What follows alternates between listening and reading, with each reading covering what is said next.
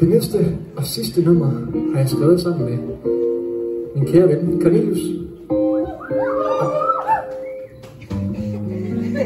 Og det er ment som sådan en, en afslutningsnummer. Og derfor er der også endt med at hedde Natsang. Så jeg tror bare, jeg vil sige tak, fordi I kom.